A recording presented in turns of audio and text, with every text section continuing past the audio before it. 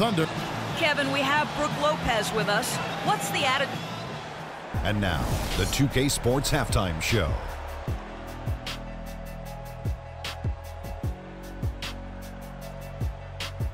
Well, we certainly hope you enjoyed the first half. There's nothing like the NBA Finals. I'm Ernie Johnson with Kenny Smith and Shaquille O'Neal.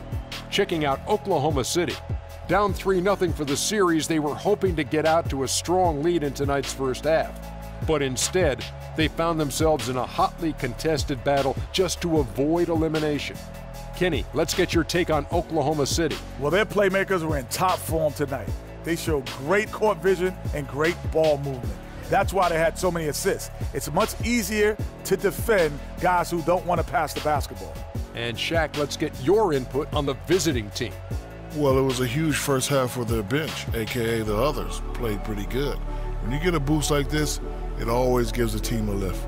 And given how well the others are contributing, we'll probably continue to see more minutes for them in the second half. Starters or not, when players are producing, you gotta ride them, cowboy. And time now to send you back down to the floor with Kevin Harlan. We will see you after the game.